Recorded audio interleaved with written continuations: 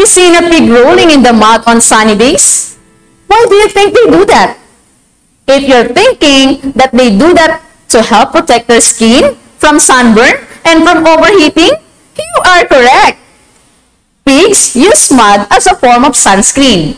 When mud dries on their skin, it forms a barrier against the sun's harmful ultraviolet rays. Amazing, right?